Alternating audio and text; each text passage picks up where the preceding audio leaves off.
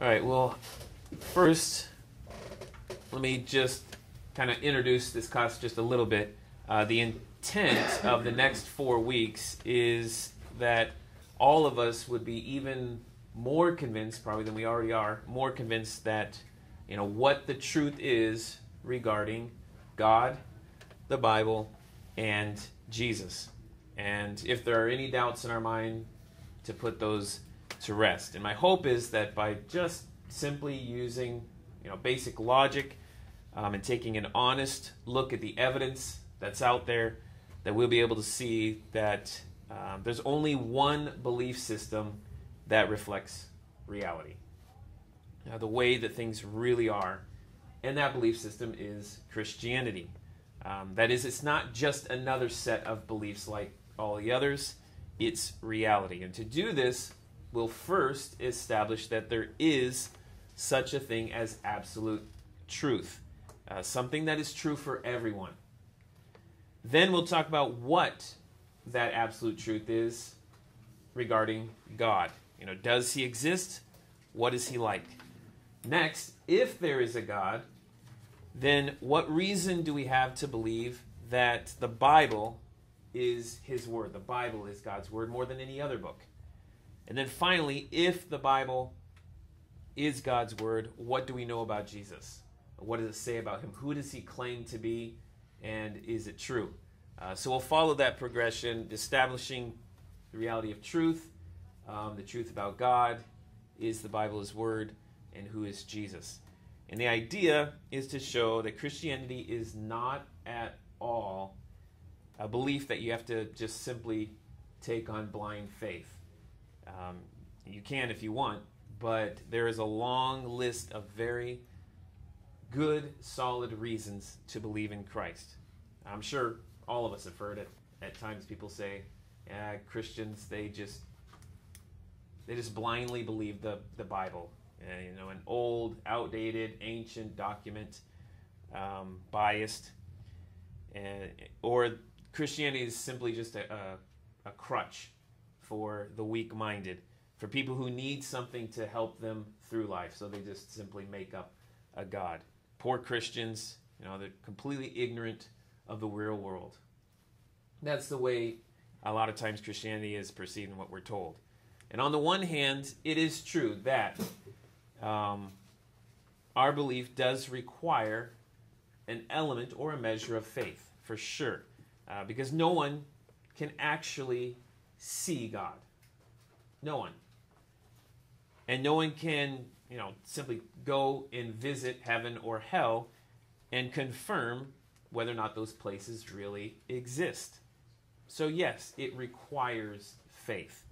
Um, and that makes sense. That's logical because if there truly is an invisible God who created everything, then we wouldn't be able to see him, right?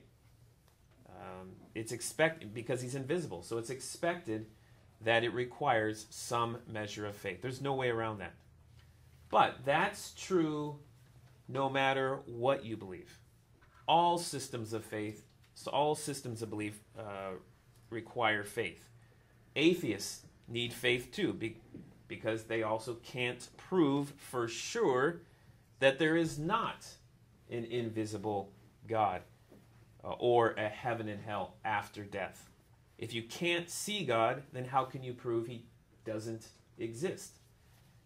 Um, if only those who die go to either heaven or to hell, then you know we can't ever know for sure until we die.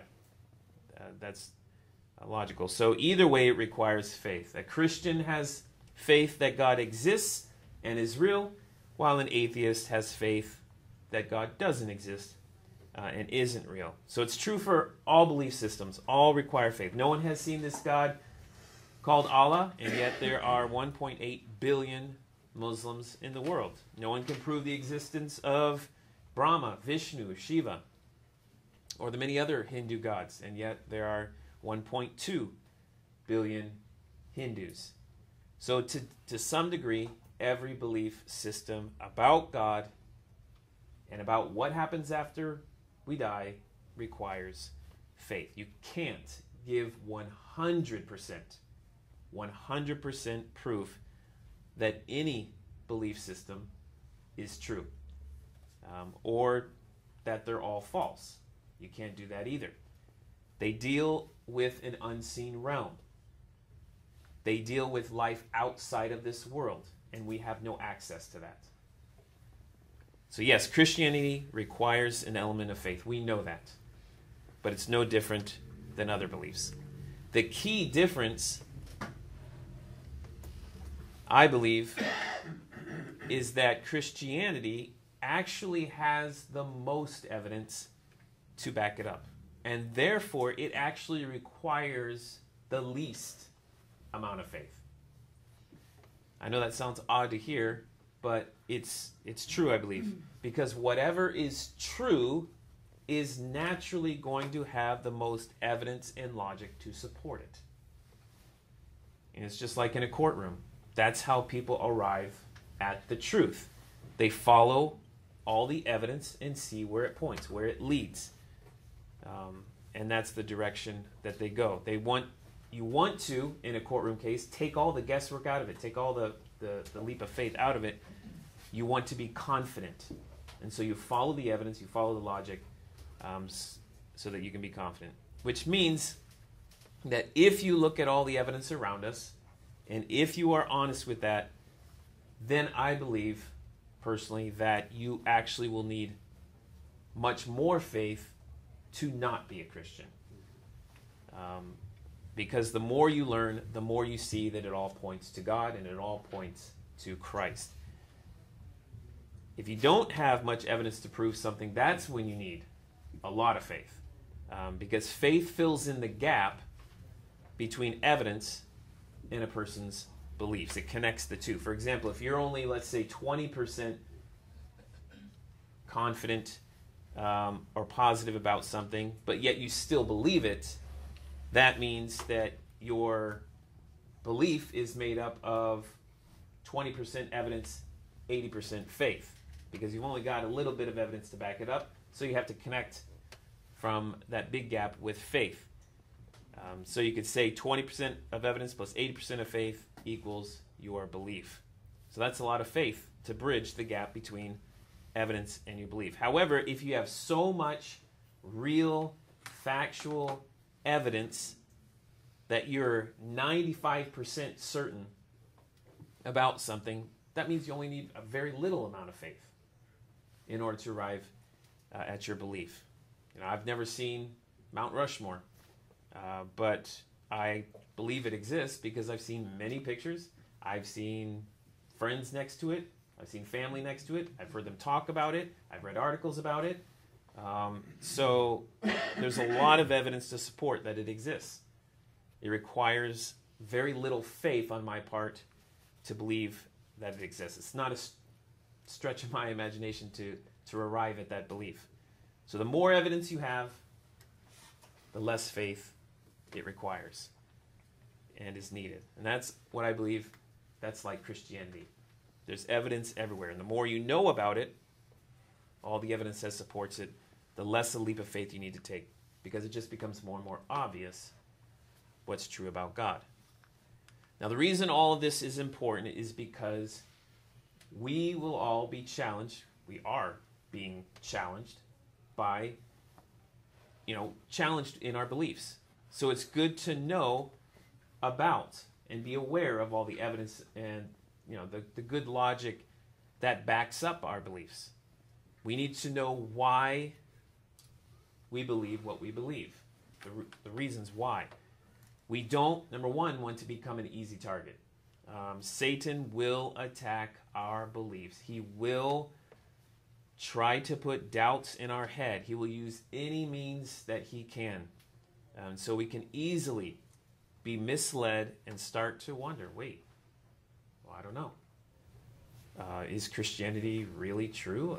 Have I just always just believed whatever my parents told me or you know people I've been around?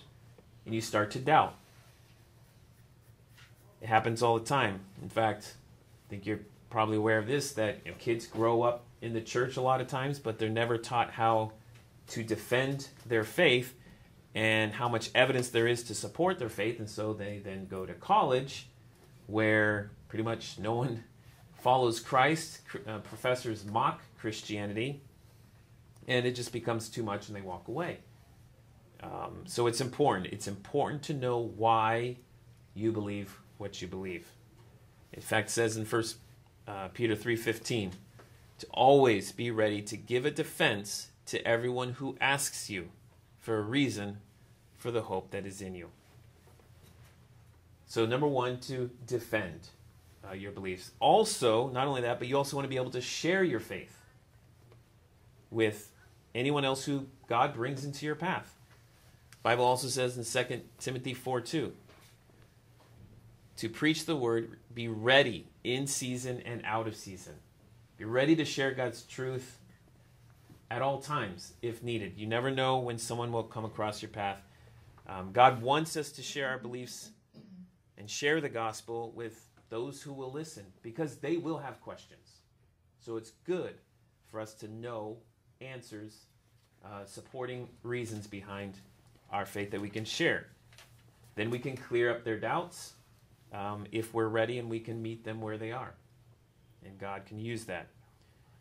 Of course, we all know that logic and evidence by itself is not going to convince anyone to change their belief. That is, it's not going to cause them to be born again.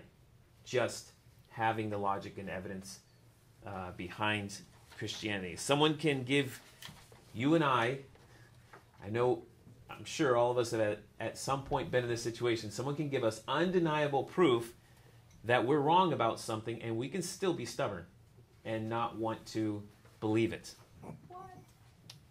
Human nature, yeah. And it's just that. We're stubborn. We, we simply don't want to believe it because we've already made up our mind. Um, and it's hard to admit when you're wrong, even when it's obvious. It can, and when it comes to especially your whole outlook and worldview and beliefs, it can especially be hard. Um, it can be humbling to accept Christ, and it can appear very inconvenient to your lifestyle, to your whole life altogether. And so a lot of people will balk, they will hesitate. Um, they count the cost, and they conclude that it's not worth it. Of course, obviously they're wrong, we know that.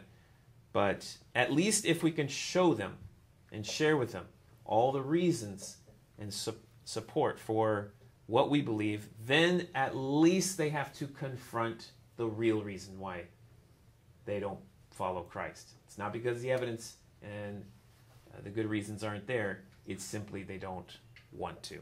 Uh, they are unwilling. The evidence is there, but they're not ready um, to make that.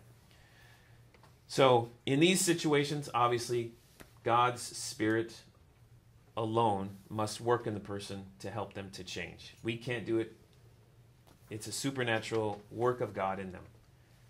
So, first, what we need to do is to make it perfectly clear as a basis that absolute truth exists.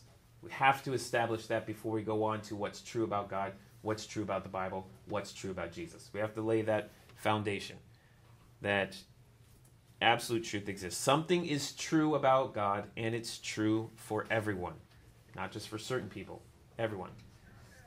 We are told that it's all, you know, we've been told it's just a matter of preference or it's a matter of opinion. Um, you know, like food. You like steak, I like tacos, she likes macaroni and cheese, same thing. You follow Christianity, he prefers atheism, she dabbles in New Age. That's what we're told. It's just preferences. It's that's all um, it is some opinion. Not there's no truth behind it. Or we're told that it's just the product of the culture that you come out of, or the family that you come out of, uh, or born into. You, you're born in Mexico. Oh yeah, of course. You're Catholic. Oh, you're from Saudi Arabia. Well, obviously you're you're Muslim. Um, you're from China. Let me guess, Buddhist. We we think in this way that oh yeah, it's just a product of your culture, which culture may have an influence for sure but none of those religions I just mentioned make the claim that these are just cultural truths, that they are confined to that specific culture. None of them do. They all claim to be transcendent truths, truths for everyone and for all of life. Um, so you can't say that it's just the product of, of culture. Uh, or we're told that only the physical world deals with reality. And there, there's no absolute truth in religion, only what's personally true to you. Only science is real, the things that you can see and touch, and nothing else, which is clearly wrong. Um, the physical world is not more real than the spiritual world just because you can observe it. That only means it's more observable. That's all. It's more observable, not more real. Otherwise, a tree is more real than your thoughts because you can observe the tree, but you can't observe thoughts.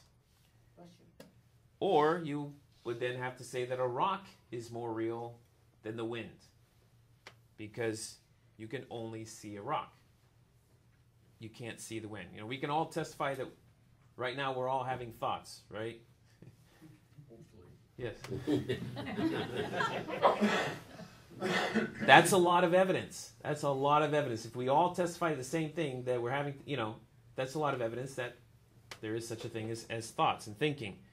Um, but yet we still can't see it. But a lot of evidence supports the reality that we do have thoughts. Um, and, you know, we've all seen firsthand the effects of the power of wind, the immense damage it can cause. So there's a ton of evidence uh, behind the fact that wind, uh, reality that wind is real as well, as well. So clearly, something can be real even though you can't observe it. It's just as real, it's just not as observable. So you could say the physical world is defined as reality we can see, while the spiritual world or the unseen world is simply a reality we cannot see. What about tolerance? As Christians, is it really helpful for, you know, people will ask, is it really helpful for us to disagree with people and then share our beliefs? Shouldn't we just be more tolerant and say that all beliefs are equal? No. Um, because think about it what does tolerance actually mean? The real definition of tolerance is that you know to be willing to get along with, be kind to those who believe differently than you. To be kind and courteous despite your differences. So you first have to have some sort of disagreement about something in order to even have the opportunity to be tolerant. You know, without differences, there's no need for tolerance. But now we're being told today that the meaning of tolerance is that we must agree. We must agree that all beliefs are equally true um, when it comes to this spiritual and religion and everything. But if all beliefs are equally true, then there's no need to be tolerant because there's no differences. We're all in agreement. We agree at the same thing that they're all equal. Um, so, so yes, we believe as Christians that tolerance is good. We do need to be respectful. We need to be kind. We need to be, you know, show patience or tolerance to those who have very different beliefs than ours. As Christians, we're called to that. We have no problem with that. We we actually like tolerance because unfortunately, many of the people who say that they promote tolerance are actually very intolerant. The most intolerant of anyone who doesn't agree with them. So they demand that you agree with their worldview, or else they label you what? A bigot, uh, a hateful, a radical. Um, that's the opposite of tolerance. Forcing someone to agree with you. That's not tolerance. What about the fact that our beliefs are exclusive? You know, why do we think as Christians that we have the one truth and every other belief is wrong. After all, there are many beliefs. And we're saying that they're all wrong except ours. Isn't that being arrogant? No. It's just being logical. It's just being logical. Everyone is exclusive with their beliefs. Everyone, not just Christians. Whether it's a Christian who believes that he or she has, you know, the one truth about God, or whether it's someone who believes believes that all religions are equal. They both think that they are right and that other every other belief is wrong. They're both being very exclusive. Everyone is exclusive with their beliefs. That's what it means to have an opinion. That's what it means to have a belief on something. It means to exclude every other option, at least for the time being. You, know, you may stay open minded and change it, but for the time being, you've excluded everything else and you've arrived at your belief. So having a belief itself is exclusive, whatever that belief is. And there's nothing wrong with that, uh, with believing that something is true and everything else that contradicts it is false. That's just being logical. You can still be very tolerant, very kind, very cordial. That's why it makes no sense to say that all spiritual beliefs are equally true because they all contradict each other on major points. And if they contradict each other, it's quite obvious they can't all be equally true. Christians say that Jesus is God and he died on the cross and rose from the dead. Muslims say that Jesus was only a prophet and that he never died on the cross. Jews say that Jesus was a false Messiah and that he died, but he did not rise from the dead. Others say that Jesus never existed, or he's an angel, or he's a teacher, teacher, or whatever. A lot of other opinions. That's a lot of contradiction. This is just one belief about the person of Jesus. But there are many differences, many contradicting beliefs among the major world religions or belief systems. Therefore, they cannot all be true. So, one belief system must be true, and everything that contradicts it, therefore, must be false. Whatever that truth is, anything that contradicts it must be false. But why does it matter? Why spend so much effort trying to figure out what this one truth is? Because being wrong has some major consequences. If there's no God, or here's a question Is there no God, one God, or many gods? Well, if no God, then you're wasting your life with religion. If only one God, you shouldn't be worshiping idols. If many gods, you're completely misled by worshiping only one. Was Jesus a prophet, a false prophet, the Savior, or also God? Well, if he's just a prophet, you shouldn't worship a prophet. If he's a false prophet, you shouldn't listen to him at all. If the Savior, you need to repent and follow him. If he's also God, you need to worship him as well, not just follow his teaching. Is there a hell for the wicked, or are they just annihilated, or neither? Well, if there is a hell, then I should make sure I and others don't suffer there eternally. If the wicked are just annihilated, then there's no need to scare them with these ideas of hell. If everyone goes to heaven, there's no need to say or do anything. Is salvation by faith, good works, or both? Well, if it's just by faith, then I should trust my entire salvation in Christ alone. If by good works, then I will be punished unless I earn my salvation. If by both, then I should make sure I don't leave out either part. Does prayer work? If not, I'm wasting a lot of time when I pray. If it does, I'm missing out if I don't. So you can see it has major, major consequences.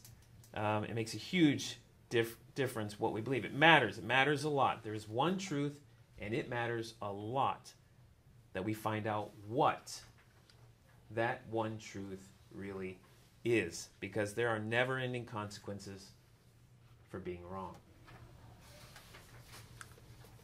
What about this? Is the truth even knowable? Can we even know? So let's say that there is truth, but can we even know what it is? This is where you get into the realm of the, the agnostics. You know, those who claim that, yeah, there, there might be an absolute truth about God, but there's no way of knowing what it is. We're just left with guessing.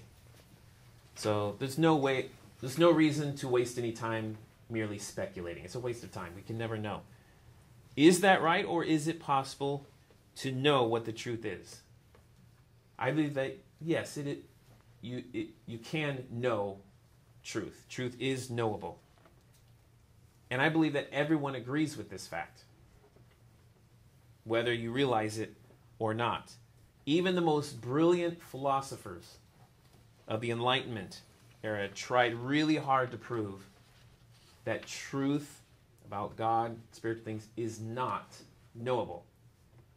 But I believe they only ended up contradicting themselves. David Hume was a Scottish historian and philosopher during the Enlightenment period. And he suggested the idea that only the physical world that we can see and touch can only there can we determine things to be true. All other so-called truth is meaningless. So he developed this principle, this principle of empirical verifiability, which stated that nothing is true or meaningful unless it is true by definition or can be tested and proven true by an experiment. Otherwise, you just you can't say it's true or meaningful. So 1 plus 1 equals 2, that's true. A square has four sides, that's true. These are by definition. An ocean is a body of water, that's true. It's by definition. There's a God we can't see? No. He would say that belief is meaningless because it's not true by definition, it's not true by an experiment you can carry out and prove. Uh, the problem is, though, that Hume's own definition or his own principle itself must therefore be meaningless. It's self contradicting. It's nothing more than just his opinion. His principle of empirical verifiability itself cannot be proven true by definition or by an experiment and tested. And therefore, if it cannot even live up to its own standard, then it is a meaningless statement and it's not true in his own definition. It's just it's just his opinion that he has come up with. But you can't say, "Oh, I know that is true," by um, by definition or by uh, some experiment. So his own definition of meaningful truth ruled out his own definition of meaningful truth. And then you have Immanuel Kant, a German philosopher and one of the most influential Enlightenment thinkers. His belief was that nothing but perception enters our mind. Nothing but perception enters your mind. The real world does not ever enter a person's mind, only their perception of it. He said that everyone perceives things differently, so it's impossible to arrive at the truth and to know what it is. Um, and therefore, nothing is truly knowable. But this principle contradicts itself as well. Because if only perception enters your mind, then this principle of Immanuel Kant's is only his perception not the real truth. So his principle falls apart as well. How can he say that we can't know anything for sure about the real world and then tell us something he knows for sure about the real world? Unless you can see both the real world and your perception of it, that's the only way you can draw a distinction, draw a line between the two, and say which enters your mind or not. But if both of you can see both, then the real world has entered your mind. So another problem with his his principle is that again, unless you can see both the real world and your perception of it, that's the only way you can distinguish between the two. But then if you can see both, that means the real world has entered your mind. So again, the principle is wrong. So both David Hume and Immanuel Kant contradict themselves, even though they tried very hard to show that it is impossible to know the truth about God. They failed. So, number one, it is tr- undeniable that something is true about God. That's what we have to find out. And this something is knowable. You can't get around it. Truth is knowable.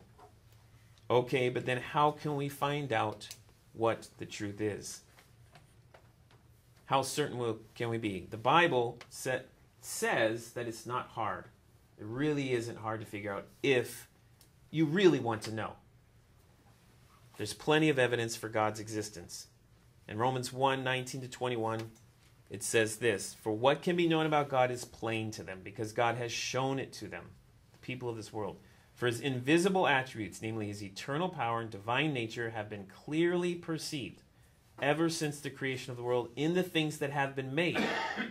so they are without excuse. For although they knew God, they did not honor him as God or give thanks to him, but they became futile in their thinking, and their foolish hearts were darkened. This passage lists two lines of evidence. The most obvious evidences for God. Number one, his eternal power, and number two, his divine nature.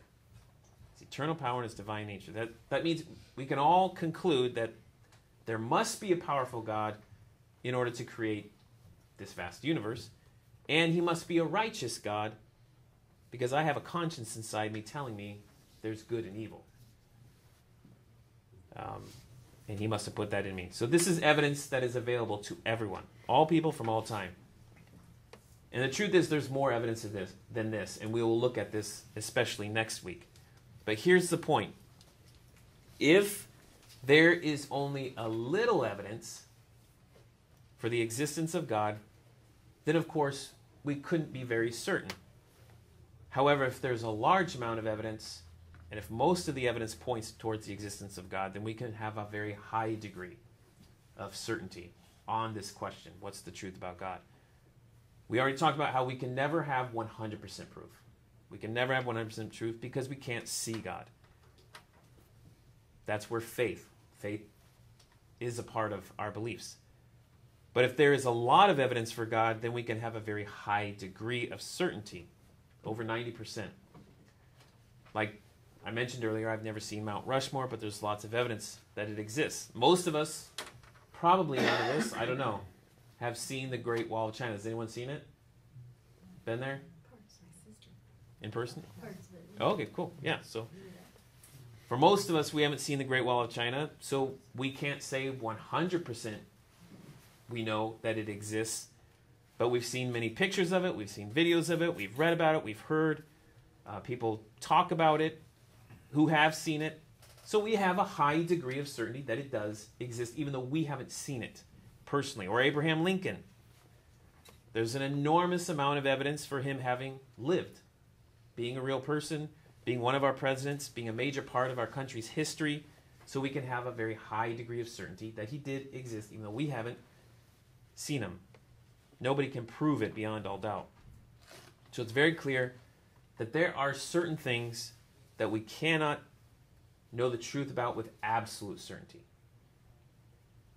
The existence of God is one of them. But we can still know the truth about it with a very high degree of certainty.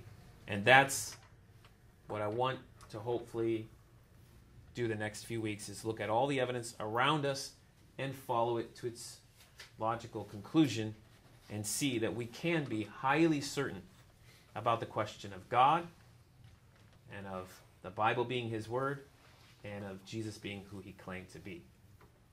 So, just as a summary, every belief about God includes some measure of faith because he is an invisible God who can't be seen, and heaven and hell are only dealing with life after death. Faith fills in the gap between logic and evidence and your belief. So, the less logic and evidence you have to support it, the more faith you need. The more logic and evidence you have, the less faith you need to arrive at your belief. Why is evidence important? To not be misled when you are challenged, when Satan attacks, to defend your beliefs. Uh, same thing. to share our beliefs with others who are interested. Logic and evidence helps when you share it with someone, but it doesn't save anyone. Only the, the Spirit does. The Spirit of God. He causes someone to be born again. What's real? The physical world and the spiritual world. One is just observable, and the other is not. Tolerance is kindness in spite of disagreement, not forcing people to agree. Everyone's beliefs are exclusive. That's what it means to have an opinion on something. You exclude all other options. All spiritual beliefs are not equal. It's impossible. They contradict each other. And we can know the truth about God. And we can know it with very high certainty. Just follow where all the evidence leads. Finally, three points to leave with. Truth exists, and everything that contradicts it is false. If you disagree with this statement, then you are proving that you actually agree because you are saying that it is false because it contradicts what you believe is true. Number two, truth is knowable. If you disagree with this statement, then you are proving that you actually agree. You are saying that you know that something else is true.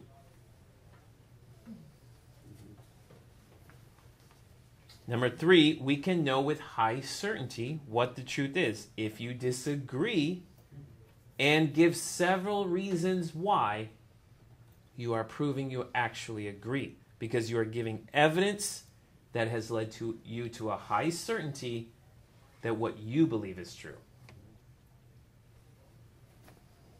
So these are undeniable truths that truth exists, everything that contradicts is false. Truth is knowable, and you can know with high certainty when you follow the evidence.